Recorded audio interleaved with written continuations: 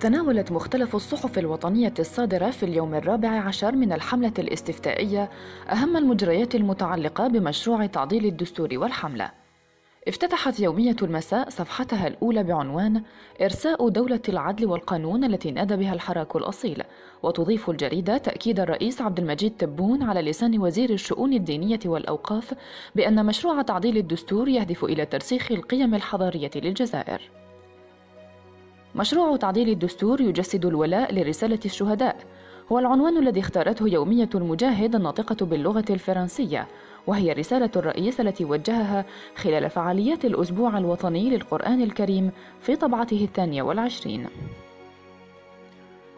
نفس العنوان افتتحت به جريدة الشعب مضيفة بأن مشروع تعديل الدستور الذي سيعرض على الاستفتاء يهدف إلى ترسيخ القيم الحضارية للجزائر وتحقيق رسالة الشهداء وإرسال دولة العدل والقانون التي نادى بها الحراك المبارك.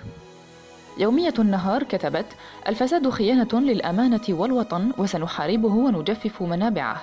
وما كشف عليه رئيس الجمهورية مشددا على أن ما تسعى الحكومة إليه من خلال التعديل الدستوري هو إرساء دولة العدل والقانون.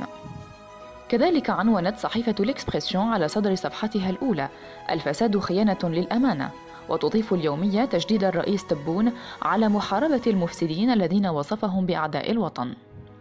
يومية الجزائر جاءت بتصريح السلطة الوطنية المستقلة للانتخابات حول خبر تنظيم التجمعات في إطار الحملة الاستفتائية والذي يكون مرهونا بالحصول على ترخيص مسبق وبمدى التطبيق الصارم للبروتوكول الصحي لتفادي تفشي فيروس كورونا.